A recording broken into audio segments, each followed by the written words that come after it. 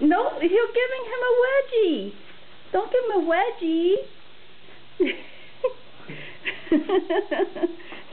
I'm sorry, doggy. You have to suffer this, okay?